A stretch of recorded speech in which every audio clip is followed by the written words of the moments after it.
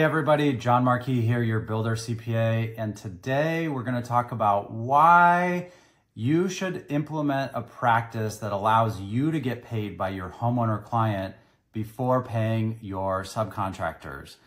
So I see this all the time, no surprise. Uh, home builders, I have a ton of respect for y'all because you go above and beyond for your homeowner clients, and in the meantime, you're trying to deal with an assortment of demands from your subcontractors. And let's be honest, subcontractors have a varying level of sophistication, accuracy, quality, and some of them are not very good at managing their cash flow. So they might be screaming at you to get paid, but really before they get paid, you need to get paid from your homeowner. It's just simple cash flow management. So ensuring that you get paid before paying your subcontractors is crucial for maintaining a healthy cash flow. Positive cash flow allows you to cover your expenses, invest in new projects, and sustain your business operations without resorting to lines of credit. I know a lot of builders are utilizing lines of credit all the time, and there's a healthy level to utilizing the line of credit. A lot of times it's fine. But what happens if your homeowner doesn't pay you? What if they lied and they don't have the cash that they said they did? Or what if the bank doesn't approve your next draw request when you thought you were going to and you've already committed to paying these subcontractors? So try to come up with a process where you're not the one getting squeezed by everyone else. You should be absorbing the cash before dishing it out. Next, we have risk mitigation. So by securing payments from clients before paying subcontractors, you reduce the financial risk to your business. Like I said, if a client fails to pay or delays payment, you won't be out of pocket and you can avoid cash crunches that could potentially jeopardize your ability to meet your obligations or remain in business altogether.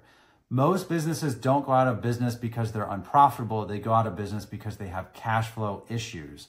So you can have a perfectly profitable business and still hit a low point in your cash cycle that kind of puts you out of business. It also gives you a stronger negotiating position.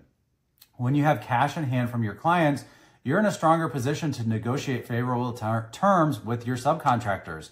You're not desperate. You're not going to agree to some egregiously high price or some egregiously long time frame. It can lead to better pricing, more flexible payment schedules, and overall improved working relationships just by you having cash in hand first. Next, surprisingly, this will actually help you build trust with your subs.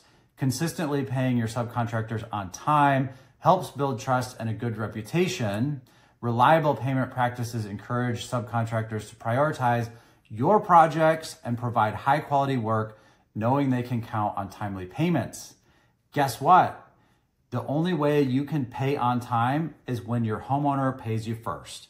You absorb that cash before you dish it back out. And finally, I think you can draw this conclusion by now.